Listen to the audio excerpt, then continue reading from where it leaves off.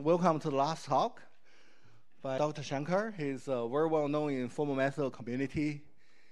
He's co-developed um, a PVS system, which many of my students are actually using it. Um, he also developed a SAL uh, model checker, SMT solver. He's a distinguished senior scientist at the Stanford Research Institute.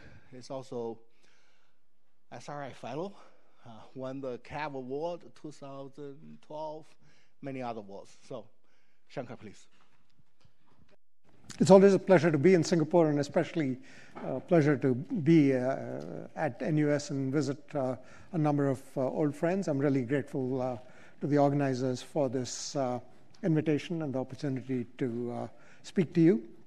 My name is Natarajan Shankar, and part of what I'll be presenting is from derived from a project called DesCert, Design for Certification, uh, done with uh, partners from uh, Honeywell Research as well as University of Washington, uh, Professor Michael Ernst's group out there. Uh, and uh, you know, I work at SRI International. I don't know how many of you have heard of SRI.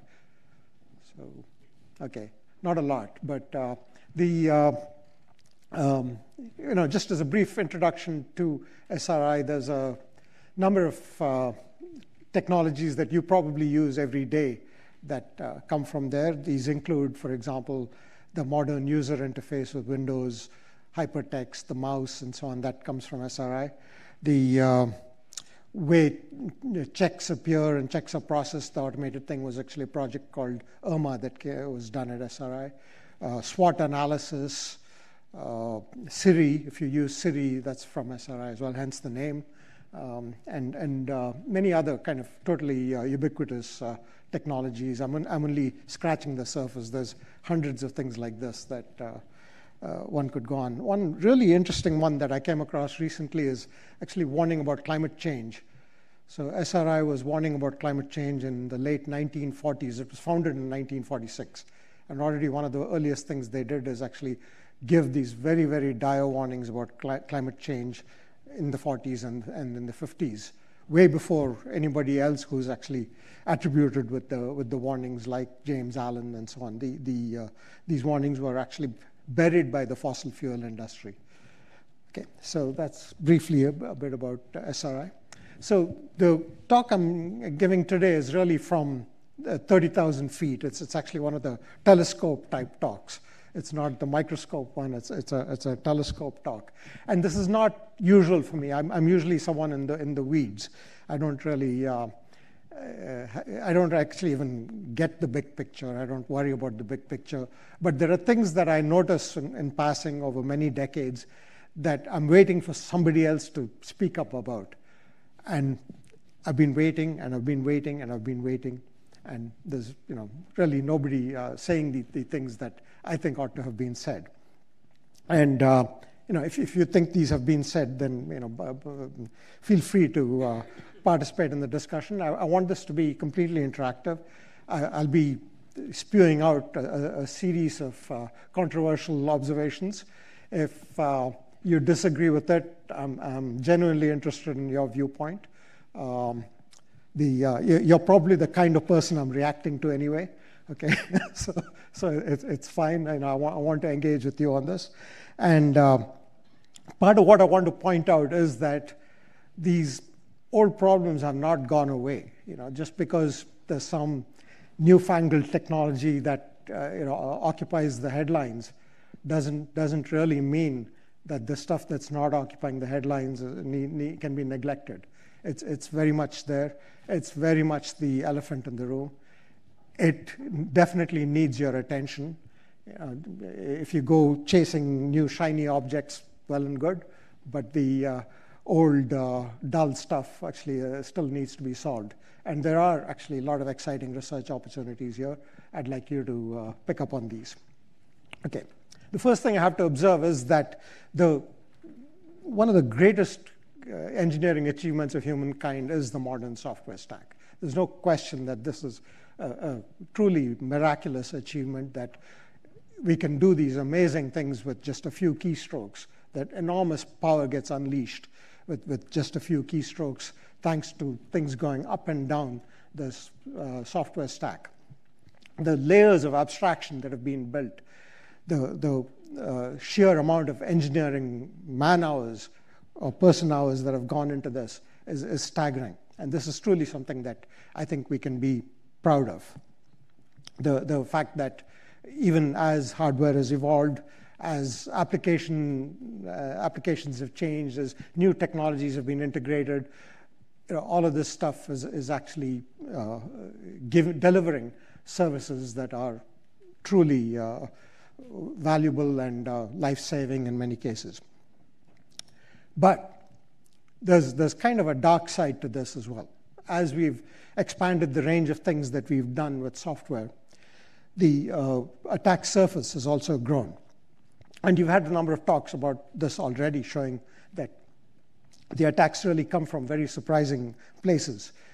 But the consequences of these attacks, the, the kinds of uh, damage that can be unleashed by these attacks, has also grown as we've put more and more trust in this technology, as we you know, put our medical records, our bank data, our educational accomplishments, uh, all of these things now uh, uh start to become vulnerable. And we've reached a point where we're really treating what's managed by software as, as the ground truth. And if this gets corrupted or damaged or tarnished, then there, there is a kind of loss of uh, trust that we as a society have come to depend on. People may not realize what the cost of this is. You, you, if you don't pay attention to this, you, you may not know what the cost of these vulnerabilities actually turns out to be. So software bugs alone, that's the engineering cost of software bugs. And that's partly because the engineering of software is done so badly, is around $2.41 trillion a year. That's trillion with a T. I, I don't know what the GDP of Singapore is, but I'm sure it's not that much. Okay. This is, you know, this is the GDP of a major country, okay, uh, $2.41 trillion. And I'm sure it's a severe underestimate. Okay, that this, this is a, a, serious underestimate of the actual cost. Cybercrime is a six trillion a year problem that uh, is, is again, trillion with a T. And partly why it's an under, under approximation is that we don't measure the annoyance that bad software imposes on us.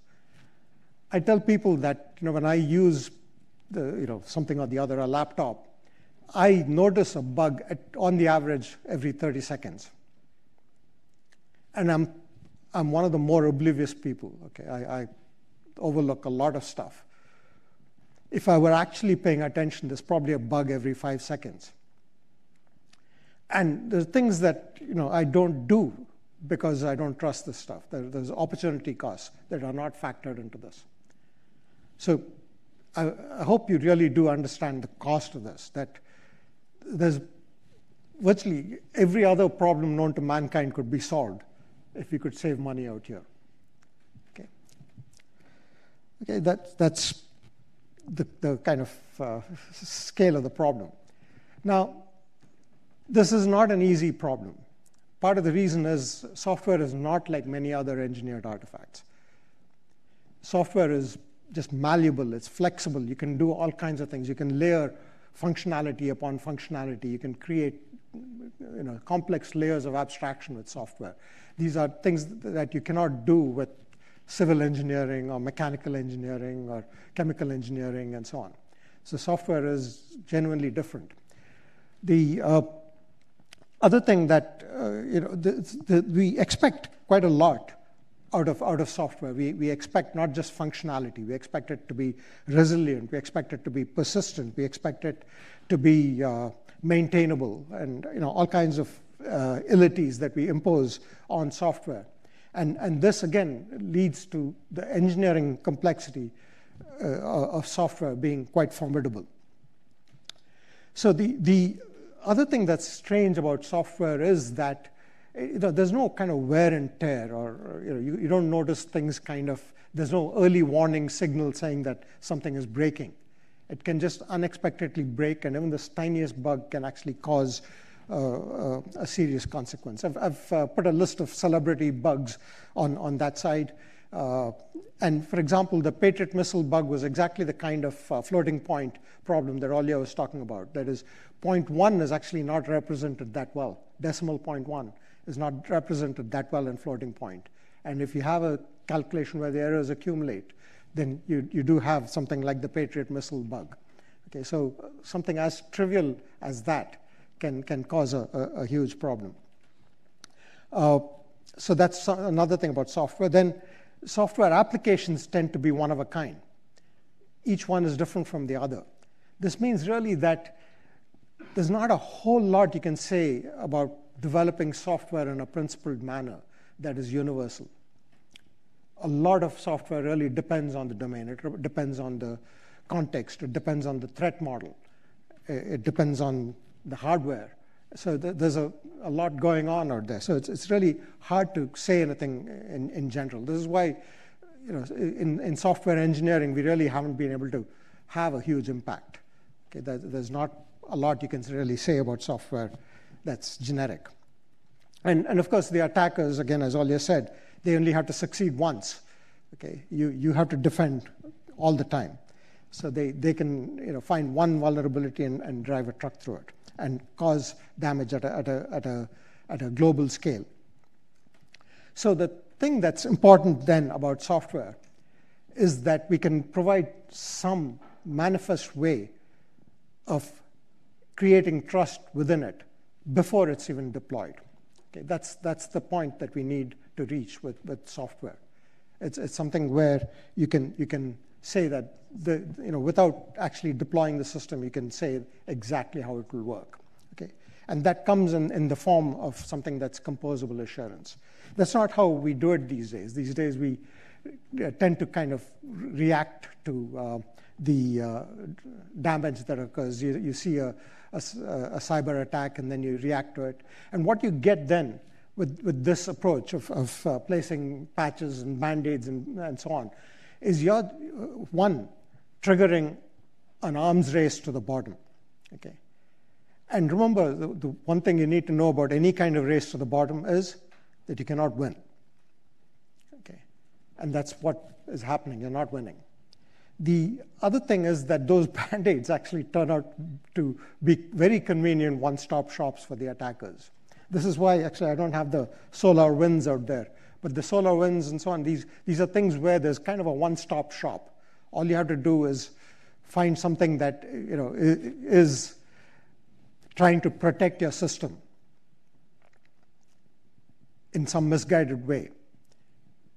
And that, attacking that thing, will give you complete control of the system. Okay. I have a bunch of some spyware running on my machine because my employers insist on it because their funding agents insist on it. That's the thing that I'm terrified about.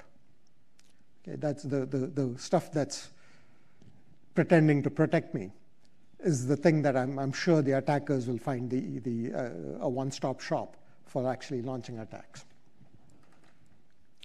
Okay, so what can go wrong with uh, software? So the, the uh, things we expect out of software are uh, quite demanding. We expect, uh, as I mentioned, a whole range of uh, ilities. And we expect the software to also work under a whole range of conditions. I remember when we were first developing PVS, uh, my manager, John Rushby, would come up with these bug reports that I think there's, there's only one way you could have come up with a bug like that, and that's by sitting on the keyboard. Okay? and that's I mean, I don't think he did that, but you know, I think he would just type some random things and say, "Look, it, it didn't, it didn't work." Okay, that's that's kind of the uh, attack. But there, there's kind of all kinds of surprising ways you, that things can go wrong, and it's often only after the fact that you realize, well, I guess I didn't pay attention to that particular uh, uh, combination of uh, events. And so, for things to be safe, you have to be able to make sure that you've protected the software against all possible hazards, all possible conditions that are, that are undesirable. And often the, these hazards are triggered by some kind of failure in the software. The, the software deviates from its intended behavior. And, and that deviation might be uh, due to some actual error in the software. For example, you might, you might have missed a particular check. You might have uh, uh, allowed some bad input to reach a sensitive operation and so on. So, so th those are the kinds of design errors or coding errors that might have led to a, a, a fault that then triggered a, a failure. Okay, so the, uh, the, the other part of this is that there can be many, many sources of, of software failure. In the, in the previous slide, I talked about cost overruns. This is another big issue with software, is that we've not been able to estimate how much it will actually cost to, to uh, create, create a certain piece of software. And uh, part of this is, again, the lack of a discipline. We don't know, you know uh, anything ge genetic about software. So things like the advanced automation system, the, the, I mean, we can, after the fact, explain what went wrong there with healthcare.gov. Uh, also with uh, Obamacare, we can explain what went wrong. But the cost of the damage runs into billions. So in, one, one of the things I put in here is uh, inept management, which I often uh, indicate that you don't really need uh, the inept there is redundant. You can just say management, and uh, that's that's good enough. The uh, uh, this is again a, a quite a difficult task. We don't have a science of how to manage software projects either. Okay, the risks associated with software, I've, I've collected a, a, few here with some examples, run all the way from hardware down to social engineering. So th there are things that can go wrong with, with hardware. You, you had the Intel FDIV floating point uh, bug that cost Intel actually, I think, something like uh, half a billion dollars uh, in, in a write-off. Uh, Spectre and Meltdown, again, you know, we all learned speculative execution and never thought anything uh, suspicious, there was anything suspicious about it.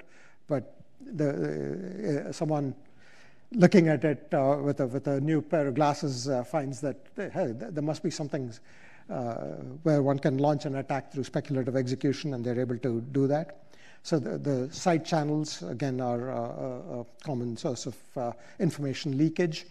You have calculation errors, things like the Mars Polar Lander. Some of these even happen because they got the dimensions mixed up, uh, whether it's uh, inches versus centimeters. So there are bugs like that. The Ariane 5 error was actually a, a, a, numeric overflow error for a value that actually had no consequence. But because they thought there were no, that the software couldn't fail, something must be wrong with the hardware. And they scuttled a flight that could have gone on perfectly normally, a launch that could have gone on perfectly normally. So memory and type safety are a, a source of uh, uh, risk in, in, in software. The lack of input validation, race conditions, the uh, ability to inject or reuse code, so things like uh, the uh, return-oriented programming. So even you know with the protections put in there, and you know the, the, all the way down to backdoors that were inserted. Uh, you know, there's also the uh, Sony Pictures hack, for instance, and uh, so on. So these are these are things where there's a, there's a community of researchers who takes delight in pointing these out and uh, the, the unfortunate thing is it's, it's easy to find these problems. It's much harder to prevent them. So this is uh, the, the, kind of Pogo uh, cartoon from 1970, uh, I think the first Earth Day. So uh, Pogo and his friend are uh, um, walking in the forest. The, and, and they find the forest has got a lot of junk strewn at it, and the you know, beauty of the for, forest primeval gets me in the heart. And you know, Pogo says, it gets me in the feet. It's hard walking on this stuff. Yup, son, we met the enemy, and he is us. Okay, we are the problem. And actually, we're the problem in, in many, many other ways also, not just in, in software related risks. By the way, that's a shout out to my colleague Peter Neumann out there he's been warning about this. He's been kind of the uh, um, cyber Paul Revere for decades, since the 60s. And he, has been argue, arguing for building security from the ground up. And unfortunately, the rest of the world has not taken him as seriously as it should have. Okay, so what can we do about it constructively uh, at this point? One issue is that a lot of what we're dealing with in the software stack is that it's kind of uh, studded with what I call original sins, design decisions that were taken in, ex in extraordinarily innocent times that don't make sense in the modern world. a lot of these things that seem to be taught to generations of students as gospel truth are truly dreadful design decisions, yet they're taught as if this is the way it should be done. It's not. I mean, these are things that really should be cleansed from the system. So things like conflating the call and variable stack, I, I can't imagine why it was a good idea even in the first place. But okay, you know, given that people wanted, say, one stack for whatever reason, maybe saving a register or something like that, it, it does not give you a way of protecting against data affecting control in an illegal way. Okay. But if you separate it out, you get what I call an efficient argument, and I'll be saying quite a lot about efficient arguments for how data can only affect control in legal ways. It can only affect it through like if then else's. Okay, that's the only way it can affect control. So, okay, and and there's many things like this. If you, if you start to think about it, just what every design decision that you take for granted is probably an original sin. It, it shouldn't be done that way. Okay, it, you, you shouldn't be using threads. You know, that's not the abstraction you should give the programmer. Um, you, you should you know, you have really poor file and network abstractions.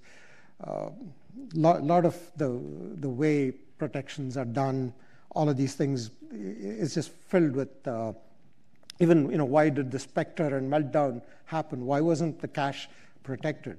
Okay, that, that seems really weird. That, that's, that's how a lot of uh, hardware was actually built. Okay, so this uh, original sins is a problem. Now, you might think, coming from where I stand, that I would tell you that you know you should formally verify everything, but that's not my point at all. The, the uh, you can you can formally verify terrible designs. You can formally verify something, and it still might not work. Actually, a good recent example is the CompCert compiler. It was formally verified. It's a C compiler that was formally verified. So a year ago, uh, actually, my uh, former intern, David Monniaux, published a paper with his colleagues in which they said, you know, we tested CompCert and that it was full of bugs. And you might think, okay, how did that happen? How is it that something that was formally verified have bugs in it? It's because they, they were assumptions that were not true. And there were uh, other people who found bugs in CompCert as well. But you know, these are all correct relative to some models, some relative to some assumptions, and those could be flawed. So I would regard formal modeling and analysis as both feasible and necessary, but not sufficient. Okay, so so that's my editorial view opinion on this. So the the main thing here is that what we need. Please, yeah.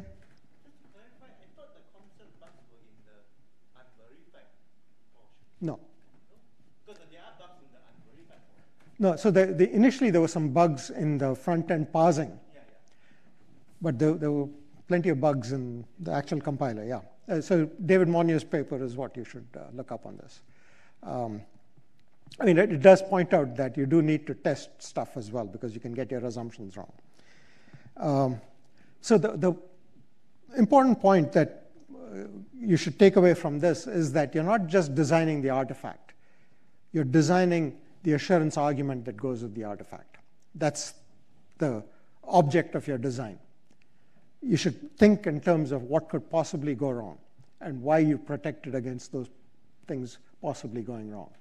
And, and th- that's, that's what good software design is about. The efficiency of this assurance argument is important.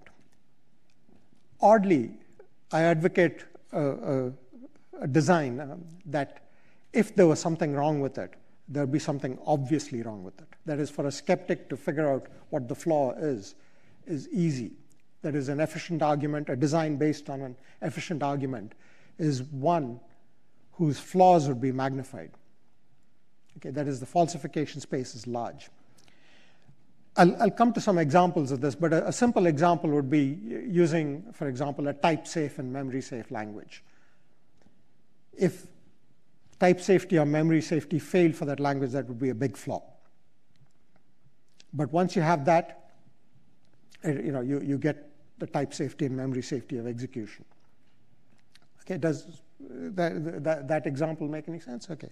So uh, using a, a, separation kernel is a much better, more efficient argument than arguing that if you actually examine every line of every program, you'll see that they don't interfere in, in, in any bad way. Okay? That would be a completely inefficient way to, because th that imposes the burden on, on the evaluator or the skeptic to then come up with why this might fail.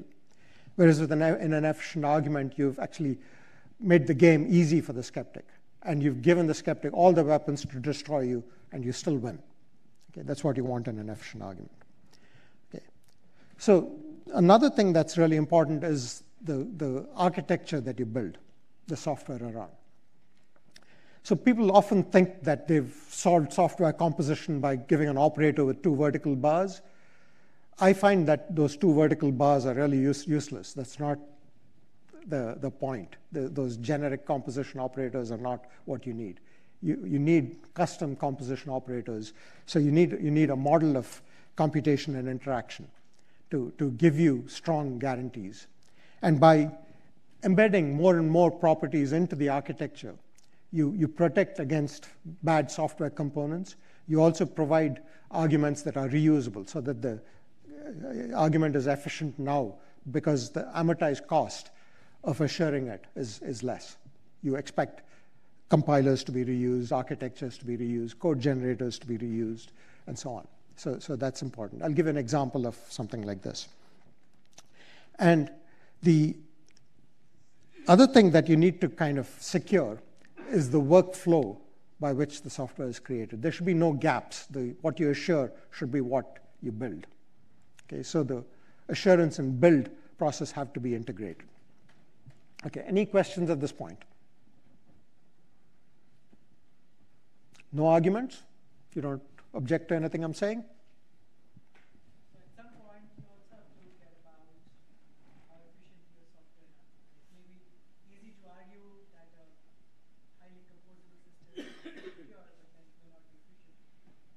Yeah, the uh, uh, one of the reasons software fails is optimizing too early.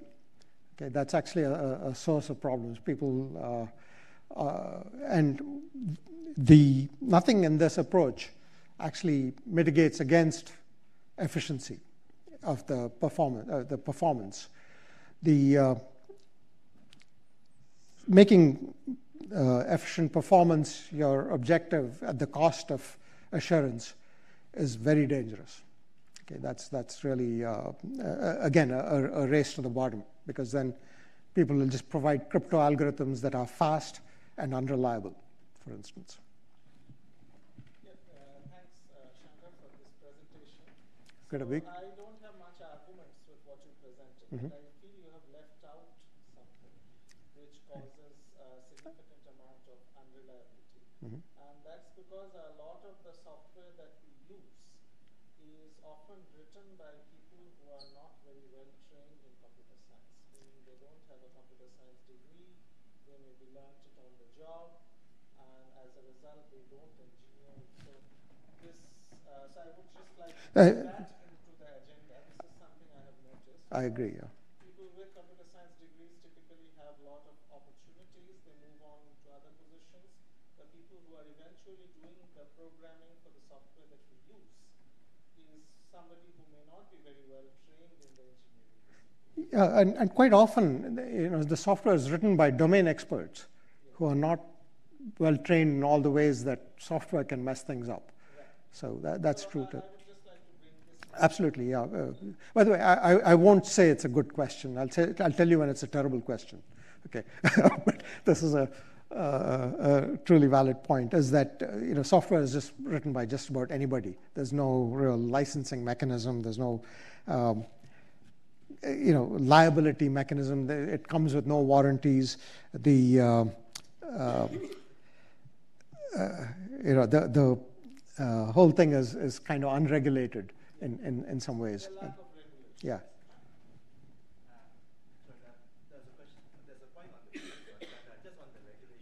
The US government is trying to put in, in some ways. Yeah. Yeah, so uh, you know the the thing that uh, happens with regulation especially when you regulate too late, is that one, uh, I assume everyone here knows what CYA is. Okay, so I won't bother to expand the acronym, but um, it becomes an exercise in CYA. That is, the regulations are there just so that you can say cover your tracks. Okay. Uh, but uh, there's a second point, which is that um, it can lead to what's called regulatory capture. So, you know, if I have more lawyers than you, then I can, I can manipulate the regulations and get, get through them. You, as a, you know, a, a smaller player, perhaps will not be able to get past the regulations.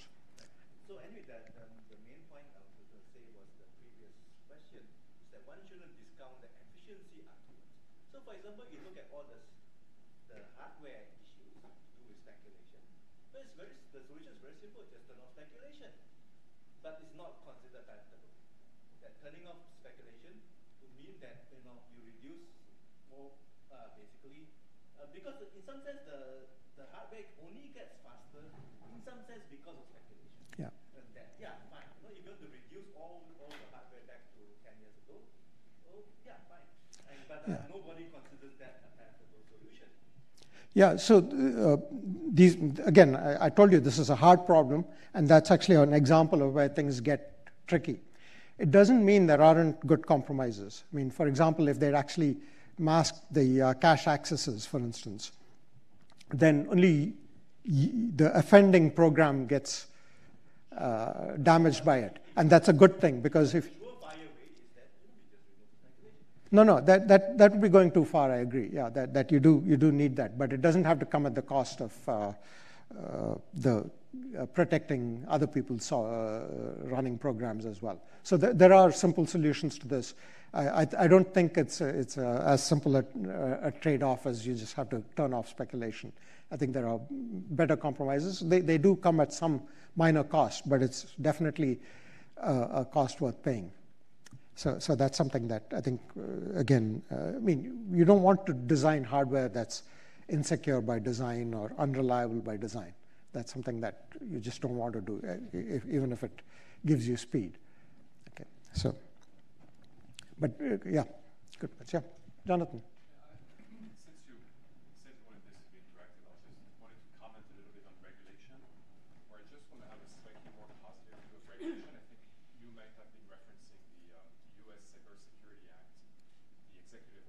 Mm -hmm.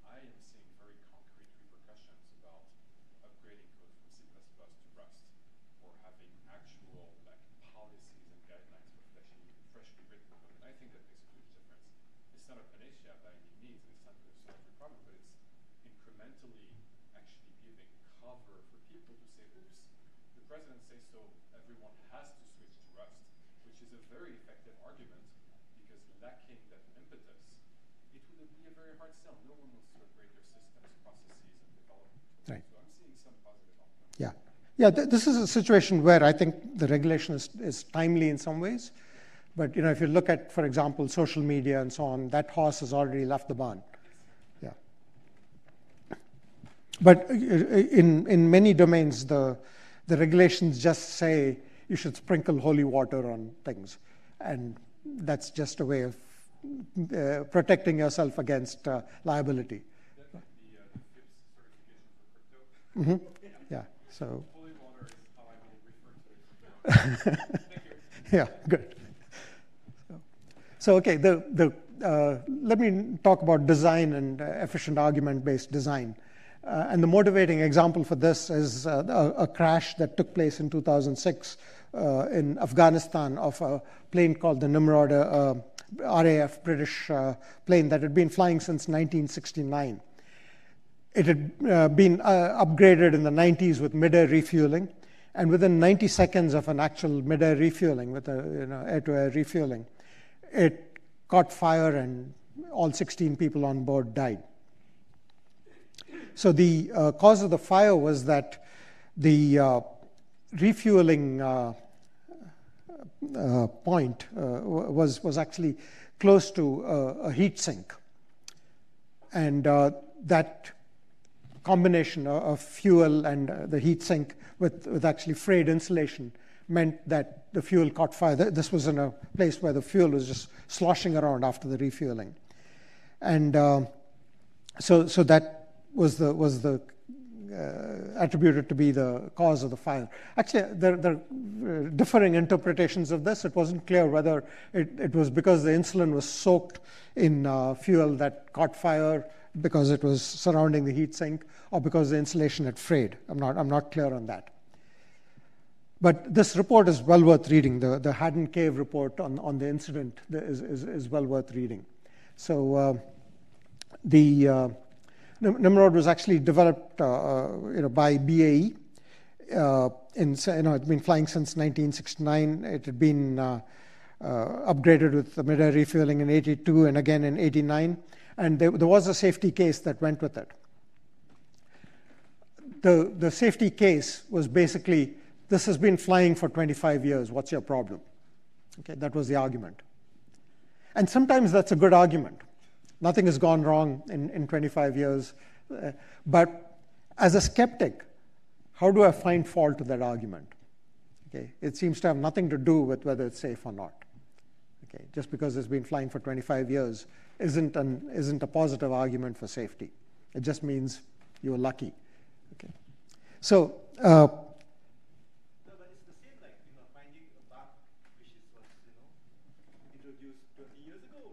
Correct, yeah. Like, like speculative execution. Yeah, yeah, exactly, yeah. So, um, anyway, the, the Haddon Cave report, you know, it, it minces no words. It's really an outstanding document. It names names. Okay, it, it really just calls out the problem.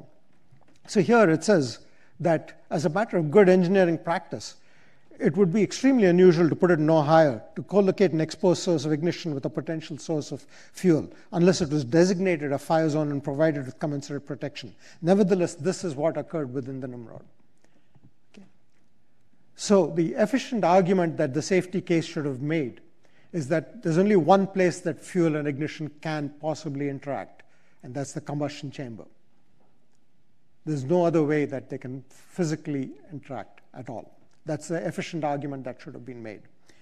Saying it's been flying for 25 years with, in a completely different context is, is irrelevant to the safety. So you are talking, just to clarify, you are talking of the requirements analysis, the uh, potentially hazardous scenarios were identified. Because yeah. this has nothing to do with the software. That's right, yeah, that's right, yeah. So, um, so, uh, unfortunately, the Nimrod safety case was a lamentable job from start to finish. It was riddled with errors. It missed the key dangers. Its production is a story of incompetence, complacency, and cynicism. The Nimrod safety case process was fatally undermined by a general malaise, a widespread assumption by those involved that the Nimrod was safe anyway because it had successfully flown for 30 years, and the task of drawing up the safety case essentially became essentially a paperwork and tick box exercise. Again, this is what a lot of people do with regulations also. They just say, yeah, been there, done that. Okay? It, it, it's kind of meaningless. Often it's done after the fact, which is not what you need to do. You need to think about it as part of the design process, that you're designing the assurance argument. You're designing why it works, not how it works. So the, uh, a safety case itself is defined as a structured argument supported by a body of evidence that provides a compelling, comprehensible, and valid case that a system is safe for a given application in a given environment. The basic aim, purpose, and underlying philosophy of safety cases were clearly defined, but there was, a limited, there was limited practical guidance as to how, in fact, to go about constructing a safety case. If the Nimrod safety case had been properly carried out, the loss of XV 230 would have been avoided again, you know, you, you can follow the spirit and the letter of these uh, safety cases, but you, you, you still don't know why that has anything to do with the artifact that you designed. And this is the, the key point that I'm trying to make is that you, you, it, it needs to be uh, entirely a, a part of the design process, not something that's done after the fact. So let's go to uh, kind of evidence-based assurance and uh, what, what we can actually do concretely to do this design for, uh, for assurance. So th these uh, two definitions that are given for what a, safety case or an assurance case, as we more generally call it, is one from Adelard, which has been widely quoted, a, a, documented body of evidence that provides a convincing and valid argument that a specified set of critical claims about a system's properties are adequately justified for a given application in a given environment. This is the one that Haddon Cave himself quoted. So I don't know about you, but I read things like this and think, I don't know, you know, it, this hasn't added a bit of information to what I might have known before. These are just words. Okay. The, the, it's, it, as Haddon Cave said, it gives you no guidance as to how to create one of these. It's just motherhood and apple pie. The FDA uh, uh, definition is a little more concrete. An assurance case is a formal method for demonstrating the validity of a claim by providing a convincing argument together with supporting evidence. It's a way to structure arguments to help ensure that top level claims are credible and supported. In an assurance case, many arguments with the supporting evidence may be grouped under one top level claim. For a complex case, there may be a complex web of arguments. So here on the right, I've shown, uh, for example, that you want to show the software meets its requirements. You can divide that up into uh, models that you have of the operator, the environment in which you expect it to operate, the, the plant and uh, model that you have, the control model. The plant itself can be further decomposed into the physical plant, like the, say it's a self-driving car the physical plant is the car itself, the sensors that are involved, the, the, LiDAR and radar and cameras and so on, the actuators, the accelerator and the brakes and the steering wheel. Um, you can decompose the control into the uh, architecture and the, the components, as well as the hardware platform on which it runs. So you can have, uh, for example, models of these, you can have theorems about these, you can have test cases that you've established. And the things that I've shown in, in green are, are, actually the ones that, for example, may be supported by empirical evidence rather than formal evidence. But you, you can have probabilistic uh, arguments, you can have uh, formal arguments, and so on. So I'll say a little bit more about this. And there, is some, uh, there are some standards that uh, uh, tell you how to go about building assurance cases for safety critical systems. And so some of these are like from the military, for the automotive industry, um, for the aviation industry. So DO 178C is, is typically the aviation standard for avionics software. And uh, it, it actually is one that uh, advocates, for example, model based uh, software engineering, formal methods, formal analysis, and so on. So, so these are um, often, they, they're kind of a, a mix of uh, uh, process-based standards as well as product-based standards. That is, you know, have you followed a certain process or have you established some particular attribute or property of the product itself? And uh, so in um, the DO178C, you have these uh, traceability links. So traceability is why, uh, for example, some artifact exists. What, what requirement can you trace it back to, or you know, where is it in this decomposition? And so you, you, cannot have anything that isn't traceable all the way back to the requirements, for instance. You can't have extraneous lines of code. If you had them, you should reflect them in a, in a, in a high-level requirement. So you have the software requirements, allocated, uh, system requirements allocated to software. Um, so, uh, you know, for example, you, you may be uh, controlling a car, but only some part of the uh, requirements are actually allocated to the software and the car itself. The high level requirements, which can decompose into the architecture and the, soft, the software low level requirements. You can think of these as the component requirements. And you derive, for example, test cases and test results from, from the software high level requirements. You, you say this test tests this particular requirement uh, positively or negatively. And then you uh, have the, the software uh, low level requirements decomposed into source code and eventually executable object code. Okay, and, and uh, so there are traceability links, there are claims associated with these that you have to establish.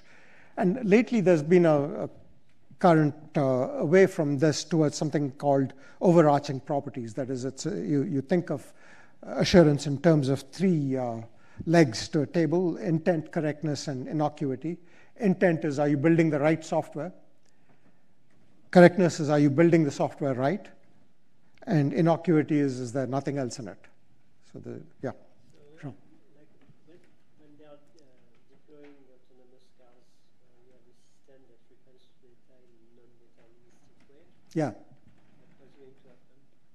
So yeah, the, the, timing predictability is actually an important quality you want on these.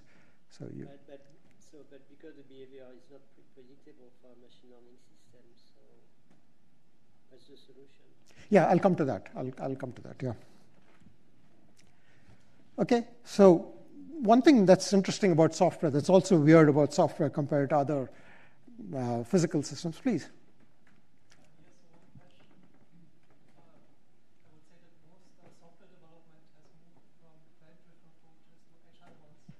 From what? So a lot of the software development has moved to agile approaches, and I was wondering how these perspectives relate to agile software development. Are they compatible or? Okay, uh, um, yeah. So the um, it's it's agility is kind of a an orthogonal issue. So there is one um, this way of the thinking about it, the way I've presented it, actually suffers from one really large uh, mythical assumption that somehow the customer knows what the requirements for the software are. And uh, agility takes that on in, in, the sense that unless you iterate with the customer, you really don't know what the requirements are. But in, in, in safety critical systems, that's not the case. You can pretty much uh, identify the, the requirements fairly precisely. So uh, this, this isn't an issue eh, with, with safety critical systems. There may be uh, other reasons why you want to adopt an agile process, but uh, it, it's not because the requirements are vague. Okay. Okay, so software actually admits the possibility of perfection. Software is a mathematical object. We expect hardware to have semantics. We expect programming languages to have semantics. We expect to be able to say that this program actually computes the square root, all, all of these things we, we, we, uh, with, with mathematical precision. So we, we can actually do that. Modulo the fact that hardware is something that operates in the physical world, there are things, cosmic rays, heat, uh, all kinds, kinds of things that can interfere with these assumptions. But given the, the models that you have, you, you, you can actually get it right. The, getting accurate specifications is, is a challenge also. This is something that isn't always easy to do. If you, if, you, if you came up to me and said, specify what Word is, you know, the Microsoft Word, I can't write a specification for Word. I actually don't know. It does what it does. There's a great book by uh, Daniel Jackson, uh, whose name I forget, but it's something about uh, software and design. Um, in that, he points out like a lot of the things that uh, I find annoying, like Gmail and so on. Um, he points out that they, they are doing, they've, they've been programmed to do what they were expected to do. There's nothing wrong. It's just the specifications are wrong. The, the programs are actually implementing a specification. It just happens to be the wrong specification. And, and I look at Gmail and think this is mystifying. Who thought of something like this? Okay, and uh, this is uh, apparently what they wanted to do. They, they built what they wanted to build. It's just as bizarre.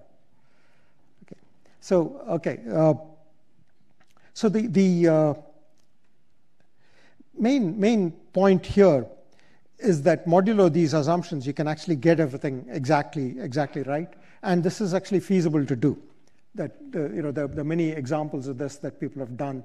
Uh, I, I, list a few, and uh, uh, actually Jonathan's talk is also right at the bottom here, Everest. This, these are in my slides. I didn't add them for Jonathan's benefit. This has been in my slides uh, prior to this. So uh, the, you know, the, the, many things actually, though, um, for me, the watershed uh, achievement and verification is actually the CLI stack. The first thing out there in 1989, they verified a processor, uh, uh, assembler, a compiler for a reasonably high level language, and an operating system kernel um, in uh, uh, a system that predates ACL2 called Nqthm. So that's something that uh, was, was done quite early. And there have been many other, uh, PVS, for example, has been used for air traffic collision algorithms, for a separation kernel. Actually, a number of compilers, hardware processors have been verified with that. And these are uh, big examples, complex examples. And uh, going back to Abik's point about the, the training that's needed to do this, obviously you can't do this without adequate training. But once you have well trained people, it is actually more productive to use formal techniques than do it by trial and error. That is, it'll save you cost, it'll save you time, it'll save you money to do it with formal methods. And this has been true for decades. Okay. The bottleneck is we don't have the trained manpower. Carlo. You know, I, I tend to share what you're saying, but uh, let me ask the devil's advocate question. Please. Uh, the, uh, all the examples, or at least some of the examples you gave us of failures, were mainly, uh, you know, requirements. They, they were wrong. Yeah. Uh, so it was not the software Correct. which Yeah. had a problem. Mhm. And, and, but that software has been developed probably not using formal methods. Indeed. Yeah. So, uh, This is correct. Yeah. So the the uh, in in avionics especially, uh, they they don't have coding errors. so the problem is elsewhere. Yeah. The, the this is it. The, you know, the, the bottleneck is not formal methods. It's actually design. So you, you, you're, uh, so by design you also include Uh, include requirements. Absolutely. Yeah. understanding the environment. Exactly, yeah. That's that's design. Okay, so uh, it, it's it's shocking that you know I have to tell you what design is, but we use a lot of words for which we don't have a, a, a widely understood uh, sense of what they mean. So for me, a design is about what stays fixed and what is allowed to vary, and what the time scale of that variation is. Okay, that's what design is. Why is it? So, so it's the combination of structure, semantics, and, and, and dynamics. And uh, so if you don't have something that's fixed, you don't have any semantics. Things can just interact in any which way they want. So what you fix is actually extremely important because that's what gives you semantics. But if you don't allow uh, things to vary, you don't have any interesting behavior. You just designed a thing that does one thing. It, it maybe it flashes a red light every time you push a button or something like that. Uh, You know, you need to have some variation for it to be an interesting uh, artifact. So it's this combination of uh, you know what you fix and what you're allowed to vary that is design. And a lot of what I'm telling you, uh, you know, it it it sounds like something perhaps you've never heard before. I can't make the meaning that clear to you because you have to live the experience. You have to consciously pay attention to what you fix and what you're allowed to vary for you to understand what that means. Okay, so these are things that you, you, by telling you this is not going to help you with your education. You have to live it. To, to you have to consciously pay attention to what is, is observed out here for you to actually understand the uh, import of it. And in particular, the, the design for something that's a safety critical system should, should basically include things like the uh, uh, reason why the design meets its objectives, and that includes the requirements. So, what's an argument? Okay, that's, that's another thing I have to tell you about. And uh, this is a, a, rich subject by itself. You could, you could actually work on this for uh, a, a, dissertation and so on. The, the um, in fact, this, this is a field of study called uh, critical studies or something like that. They look at arguments and see how they can be flawed. But for our purpose here, an argument is a, is a, is a tree of claims and subclaims and assumptions. And the, the key point is the, the decomposition of claims to subclaims and assumptions must be accompanied by a theory. There must be some reason why you accept that refinement of, of a, a goal or a claim into subgoals or subclaims. So there must be some accepted theory that goes with it. There must be a theory, for instance, why testing gives you adequate confidence that your requirements are in fact valid, for instance. Okay, so things like that uh, are how you, you uh, gain confidence that something is, is, is uh, acceptable as an argument. And so this theory itself should be accompanied by evidence. It's, you know, we have evidence why this way of testing a medical device, for instance, is effective. And uh, the uh, refinement could also involve probabilistic and logical uh, steps.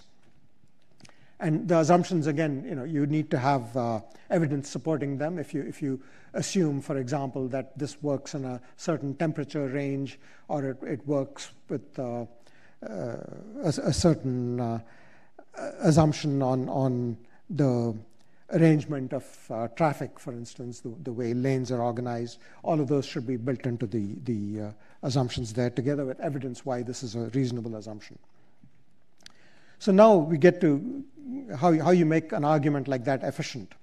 And uh, so here, uh, Sidney Harris's cartoon, uh, that's an example of an inefficient argument. That's the, the argument that the uh, Nimrod safety case was making. You want proof, I'll give you proof. So the, an efficient argument is not that. An efficient argument is one that actually takes the uh, skeptic seriously and makes life easier for the skeptic. It expands the falsification space. It says, you uh, don't have to check whether my program is type correct. You can find a flaw in the type checker that I'm using. Okay, you, you, know, that's, that's expanded the falsification space. If, if you find any flaw in the type checker, even one that isn't relevant to my program, I'll accept defeat. Okay, so the person making the argument to the skeptic is willing to accept defeat on the flimsiest of grounds. That's what makes an argument efficient. And so when you design, and this is not I'm, I'm, making these observations, but it's not like this is a novel concept. This is how we design stuff. This is why we have the ecosystem that we have. It's for creating efficient argument-based designs. Okay, and, and so you end up with this lower amortized cost, even though proving type system sound might be extra work. It may not be relevant to the particular program you're writing and so on. It's still worth it because it, it reduces the amortized cost. And on, on the other hand, an inefficient argument would be one where you, you see claims that are not verifiable. You know, the, the, it says things like this, uh, um, the, the, the software is good, or we used uh, agile, for instance. I mean, that, that has a, no bearing on, on any of these things. It's an imprecise claim. Okay, so unfalsifiable assumptions, complex uh, chains of reasoning, all of these things make uh, the arguments inefficient. Okay, so how do we design for efficient arguments? And I'll give you a few examples and then I'll stop.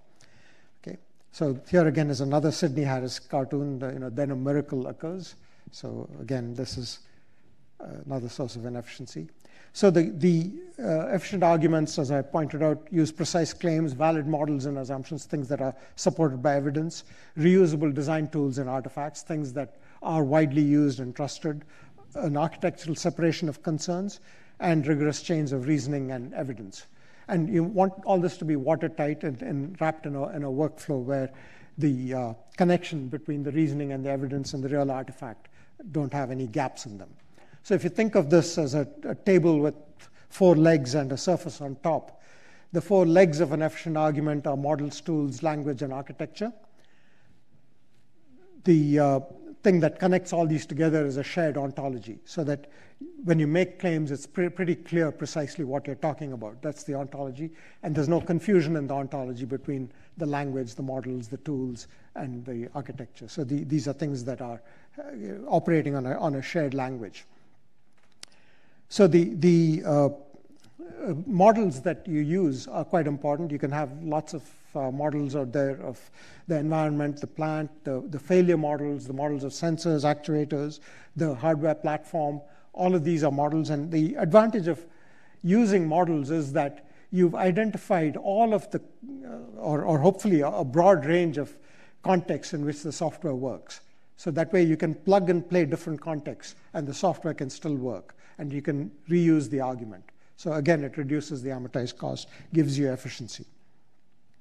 So this is the money slide. So this is the uh, kind of key uh, uh, checklist of things that uh, you can do to uh, design for efficiency. So the, the first is making sure that you have an assurance-driven workflow that is operating continuously. It's telling you where there's missing evidence, there's uh, claims that uh, need to be justified, and, and that ensures that the evidence is, is tied to the artifacts that you, you've constructed. The second is, is property based assurance that it's not that there's anything wrong with process. It's actually important to use process as well. But a property-based assurance can tell you that, for example, this software has no runtime errors in it. That, that's important to know, that the, the, you, you don't have to worry about runtime errors in the software.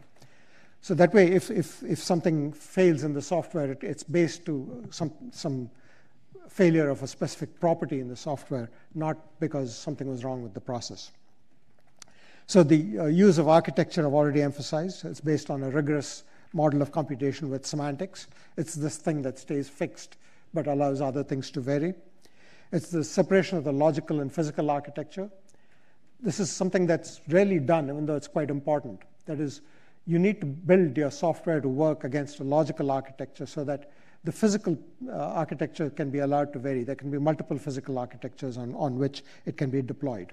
And, and this factors the work. That way, you can prove the correctness of the, the, you can prove the requirements relative to this logical architecture assumptions. And later on, you can show that the physical architecture does meet those assumptions.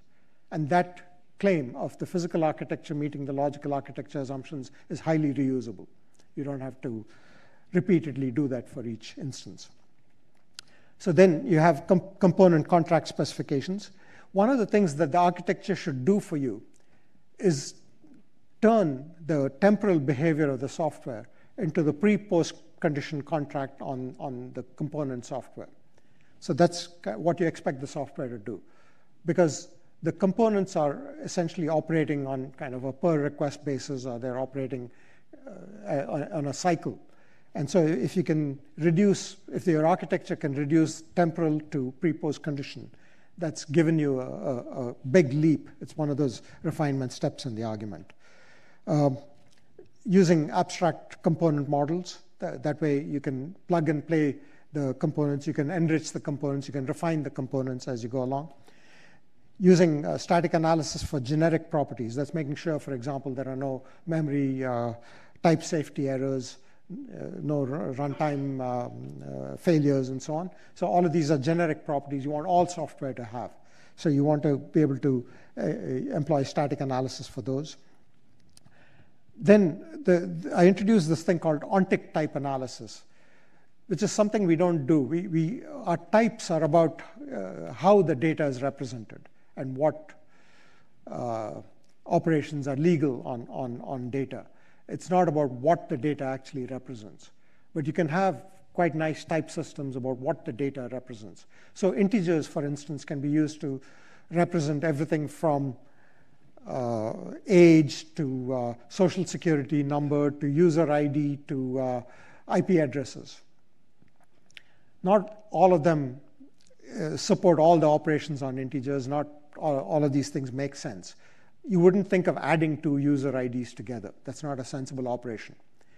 So an ONTIC type distinction on, on that integer representation would meaningfully tell you that this is a user ID. You could go further than that. Nothing in, in, in a user ID tells you whether it's authenticated or not. That's implicitly a property of that user ID having gone through authentication. So an ONTIC type that tells you whether this has been authenticated or not is helpful there because you can make sure that certain operations can only be performed by authenticated users. And so there's a long list of these ONTIC types that I'll get to. So isn't this just object-oriented programming? In what sense? Um, like that you have guaranteed, you have certain types of, that represent like real objects with uh, guarantees on how they are constructed and the operations that they can perform on them and on other objects. Yeah, so uh, the, the one kind of slightly awkward way of uh, realizing this is to use, uh, you can use abstract data types, objects, and so on to uh, uh essentially uh, hide the representation. But what that masks is that the same a data value can have many ontic attributes.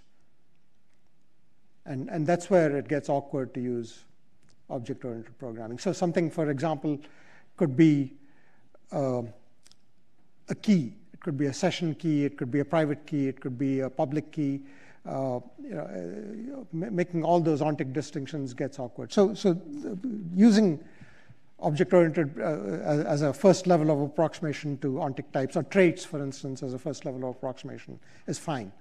But you really do need a ONTIC type system to capture this. And uh, so. It's, it's the, the, the fact that uh, it, could, it could belong to many different ONTIC uh, categories, ONTIC attributes, so simultaneously. Yeah, that's why. I don't know anything about software engineering, but there used to be at least like I used to use MATLAB. Yeah. MATLAB, you you you have um, I don't know you it. You can add a, a scalar to a vector, which is awful. Yeah. But people did that, and I imagine that. Like, that's, that's the kind of thing you want to rule out. I mean, you want to, for example, uh, dimensions are an ONTIC uh, attribute. Uh, you can, you can uh, check for dimensions. And uh, interesting, you bring up MATLAB. A lot of their tutorial examples have dimensional flaws in them. And no one notices this. They, they, they uh, confuse. It's done partly on purpose, No. I've always hated it, but in MATLAB you can actually, there, there are people who say it's convenient to add a scalar to a vector, which is very bizarre thing. It is, yeah, it is, yeah. That's, that's definitely what, uh, at least for safety critical systems, you don't want that, yeah. Okay, and then uh, code generators is another I got there. So, um, how much time do I have left, Johnson? Okay.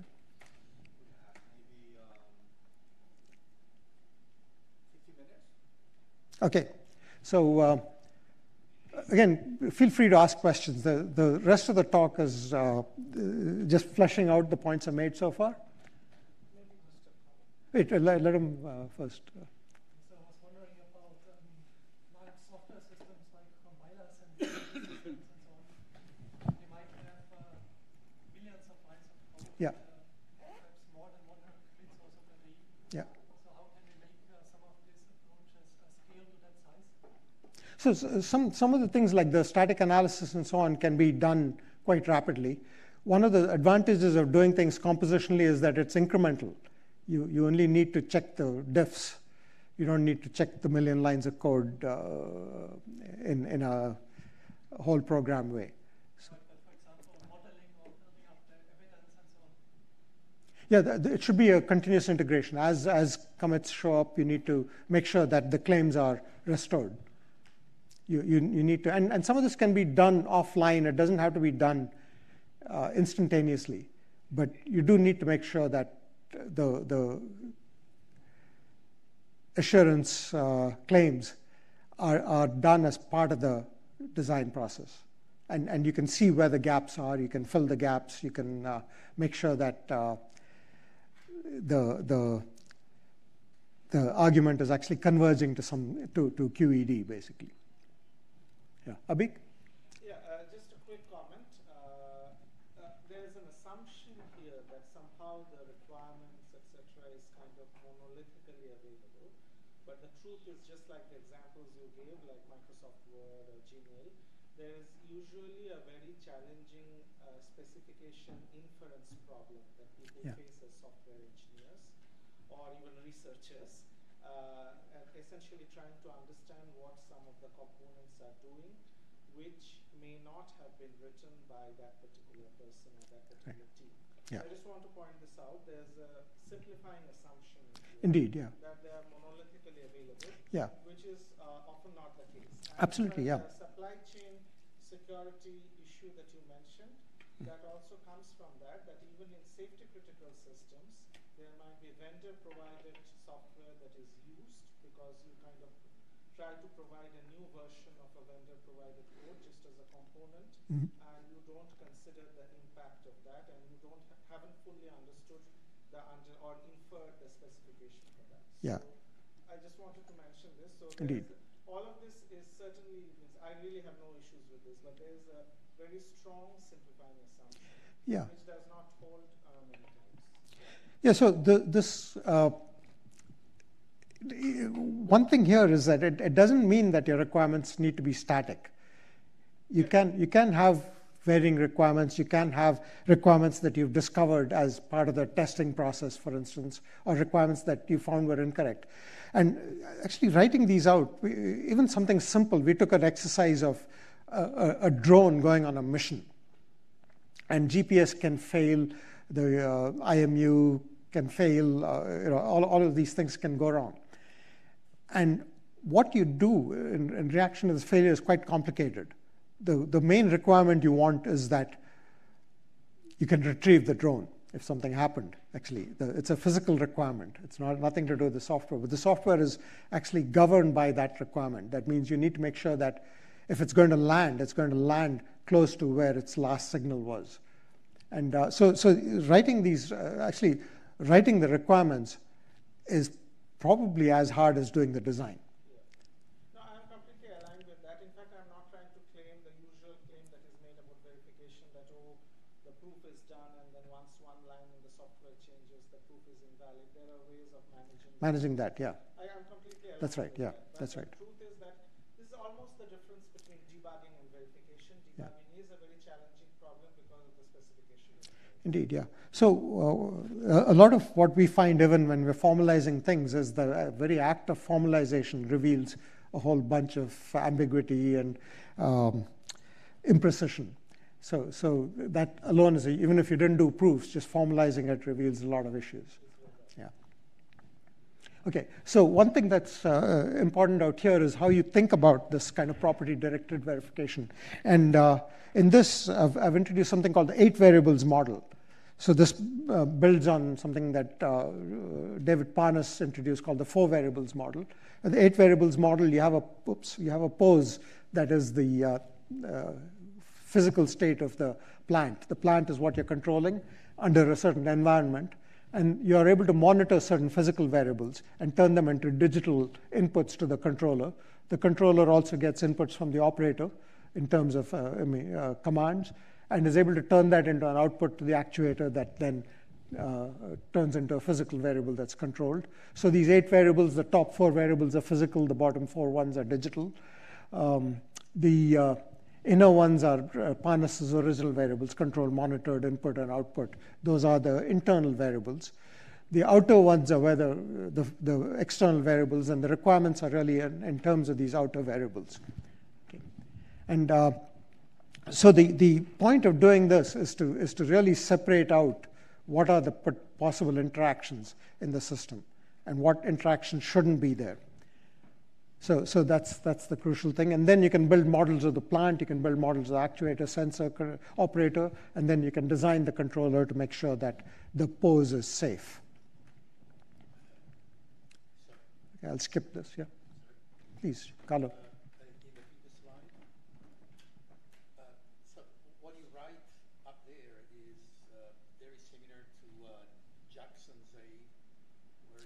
It's similar, yeah.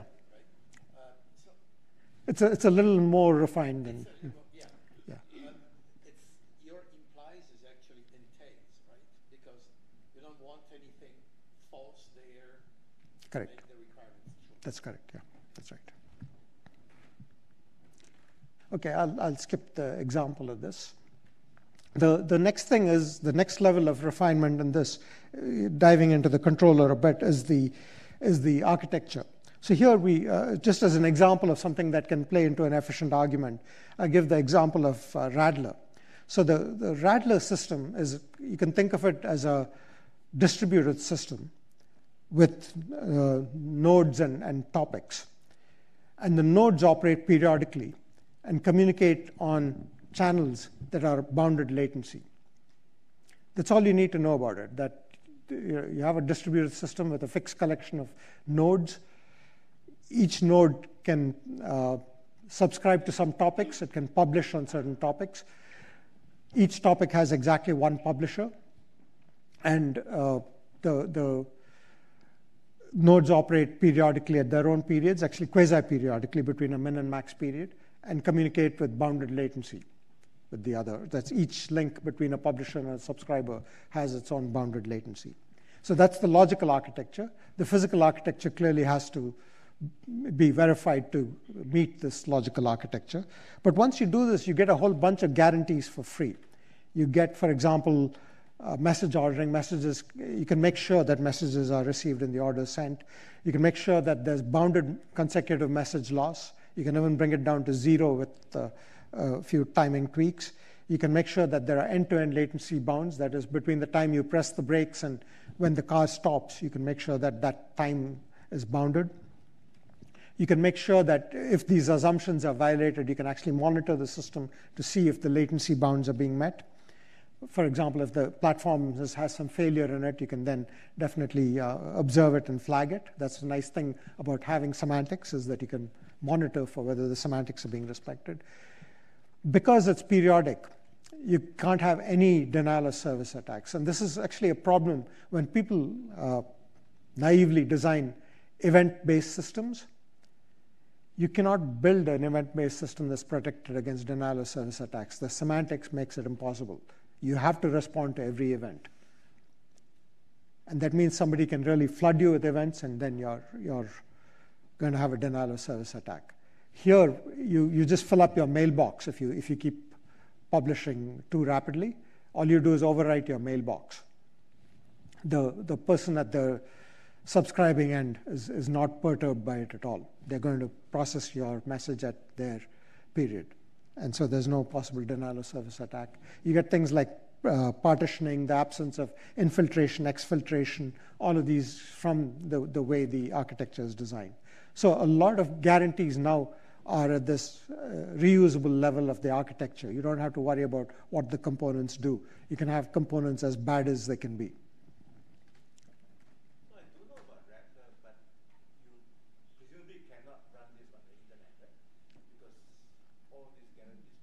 No, there are uh, ways of uh, provisioning things so that you can get it, but yeah, not yeah, not generally. Actually, you can't even uh, run it on like a Wi-Fi network. The the latency bounds on a Wi-Fi network are pretty wild. Yeah. The, um, so, but the, I would say that this is a sufficient architecture for 90% of the cyber physical systems that are being built. Things, buildings, electric grids. So you can um, cars, planes, all of them can operate with this model. So the, the kind of more extreme version of this model is what's called the replicated state machine model, where everything is operating at the same clock and synchronizing round by round. I think that is too heavy. That, that model also came out of SRI, but that's too heavy a model for uh, most applications. This is a lighter model that gives you uh, similar guarantees. Okay, and, and, then you can actually then structure the argument in a nice, uh, well-factored way to, to make sure that uh, everything is, is uh, giving you the claims that, that you want in, in, a, in a reusable way so that you know all of these claims and subclaims are actually reusable across many, many different instances of this architecture. Okay, I'll, I'll skip ontology. The um, it's, it's important, but I'll, I'll have to skip it. Uh, I mentioned uh, ONTIC type analysis. So things that you can uh, get with this. Uh, um, I mean, for example, integers you can represent. Uh, I mean, even the distinction between airspeed and ground speed, even though they're both speed, they may be represented in the same dimensions and unit seven. That distinction is important because you, if you confuse those two, and I believe when you look at a lot of software, there is this kind of confusion just because they're both speed. You, you um, end up with this confusion. Actually, another instance where we found a lot of units errors is that in MATLAB, the time step is often one. So people have confusion between velocity and acceleration, and they never notice it because that time step is one. Okay, so so this is again uh, a, a, a, significant source of uh, actual error because if you tweak the time step to 0.9, everything will fall apart. One really important one is taint. To be able to track taint is, is, is really important. You need to know which things actually are controlled by the user. And you want to make sure that you identified which operations are sensitive, that user data shouldn't reach sensitive operations uh, without being sanitized. So that's really important. Many, many uh, vulnerabilities are because of uh, improper taint tracking, improper provenance tracking. So there are many uh, qualities that can uh, be captured by these uh, uh, ONTIC types, and you can make sure that these vulnerabilities actually don't show up.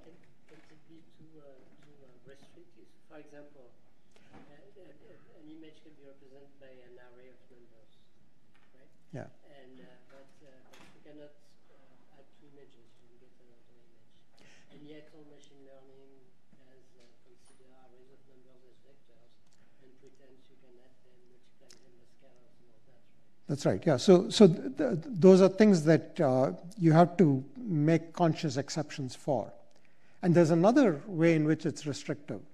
That is, uh, take taint for example. There, there may be operations that you're executing that uh, are used internally and are safe, and are accessible externally and are unsafe.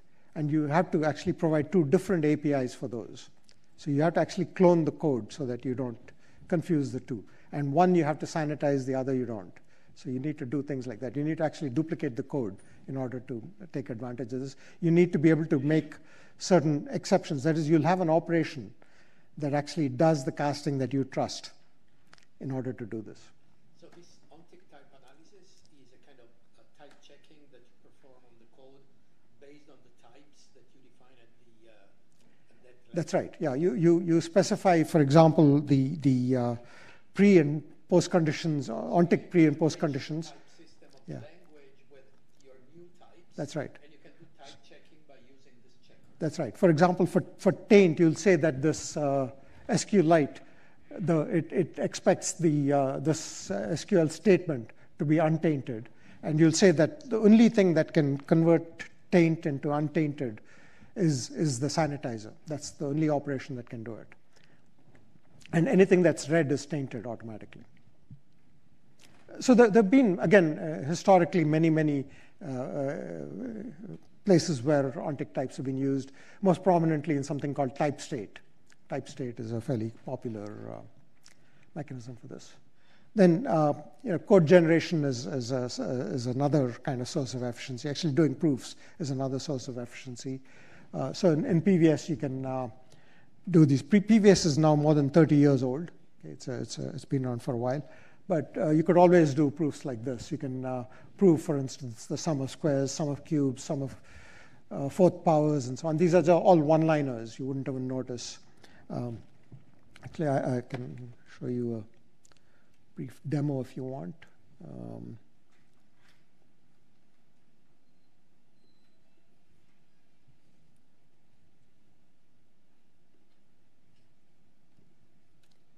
So, so this is the summation, for instance, and you can prove this, and uh, this is proved by a command called induct and simplify.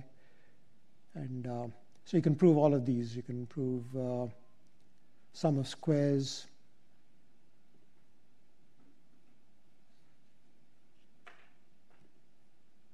All the way to sum of fourth powers, for instance.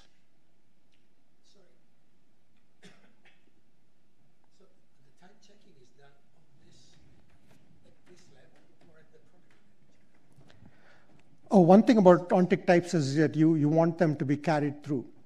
Sure. You, you, you, you uh, want them to go from requirements all the way down to the.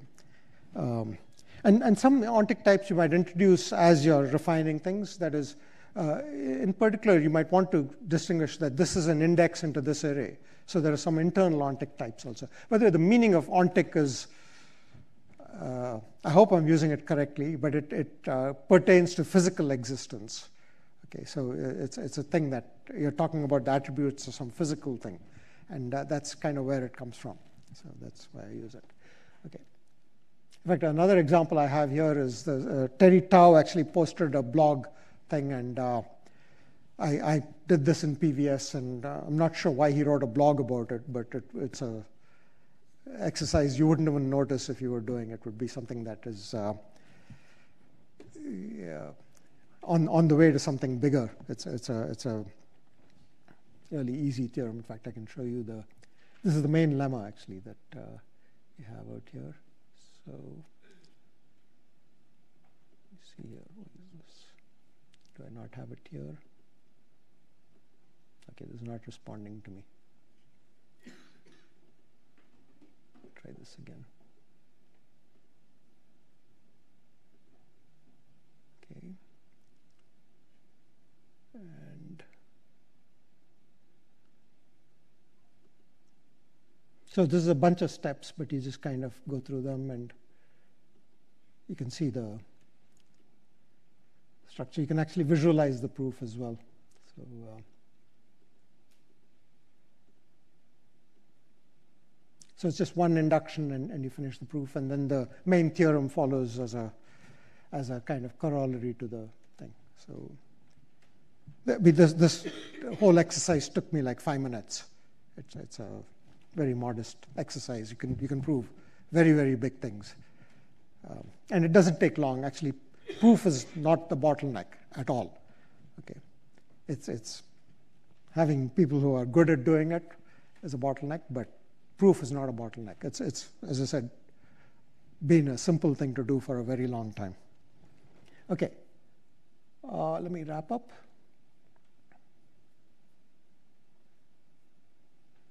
Okay, I wanted to say a little bit about AI uh, when uh, while we are at it. Um, so, so, this is an old paper that came out uh, in 2018. Uh, I don't know if many of you have seen this, but it's a cute illustration of something where uh, you, you can put an elephant picture. In some contexts, it gets recognized. So, for example, it's, it's there in all the pictures, but it only gets recognized in the third one above. But it affects other things also. It, the, the, the cup, the little uh, blue, blue square, uh, blue rectangle out here, the cup actually disappears depending on where the elephant is. A couch gets turned in, a chair gets turned into a couch. So lots of things go wrong. So this is again not a new concern. Uh, uh, the concern for AI safety has been there all along.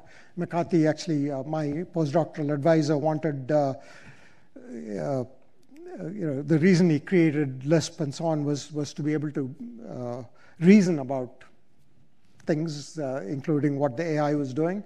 And um, so he, he wanted uh, systems to be able to learn reflectively from being able to examine their own rules. And uh, there, has been a long history of work in verifying AI algorithms, planning algorithms, and so on. And in many cases, what we're dealing with with machine learning is, is I don't think, a hugely new problem. We've already had to deal with it with sensors. Because sensors also are able to, are kind of giving you approximations to ground truth. And you, you, you don't know whether to trust them or not.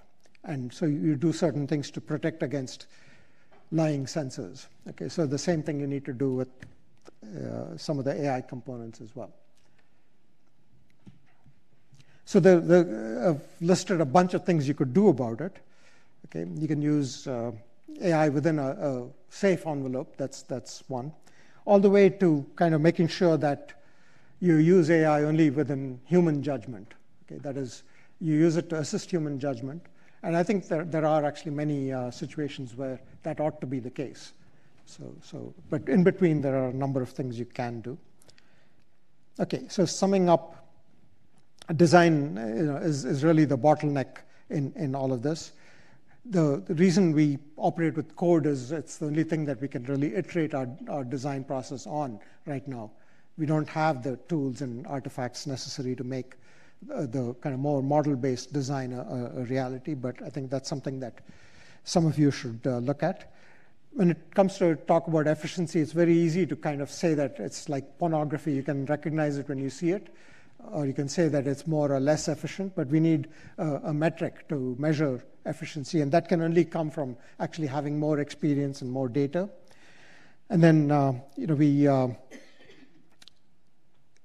have to be able to make formal methods more uh, widely usable and accessible in order to uh, be part of it. And, and by this, I mean a range of uh, range of formal methods that uh, go from uh, for example, lightweight static analysis tools, uh, formally verified architectures, all the way to fully, fully certified code. And in, in doing this, you know, we, we have to recognize that software is important. A lot of our uh, ground truth is actually uh, reliant on software. Code is not a good way to represent design. What we need is really code that we can, uh, coming out that we can trust. Uh, the code that goes into the ecosystem should be stuff that is, is accompanied by trust. Just like when you open the tap, you know that it's drinkable water. Okay, you know it because there's a whole ecosystem of trust built around that. It should be the same with software. Because you can't, I mean, everyone can't be testing the software before they use it or testing the water before they drink it. And so we need to uh, take the information that we're representing in software seriously, take requirements seriously. As I said, many flaws really go stem from bad requirements. Take architecture seriously. Take composable evidence seriously. That's what we should be exchanging. When, you, when I buy software from you, I'm not just buying the software, I'm buying why it works, the, the assurance argument. Take runtime monitoring. This is something, again, that's important because you need to uh, make sure that things are working uh, with the, the, assumptions that you had in mind. Get, the, get rid of these original sins, build these uh, watertight workflows, and actually integrate uh, attestation uh, into things so that you get signed qualities associated with software. So what, what you end up with then is a software proof of virtues. People have this notion of a software bill of materials. Again, I think this is a, that is a CYA thing. I think what you need is a software proof of virtues. Okay, and we can do this. I think we can do this and get to a point where we, we are not only uh, bestowing a lot of trust in software, but we've done it in a way that's generating real economy. We're saving trillions of dollars that we can use to solve mankind's other problems. Thank you.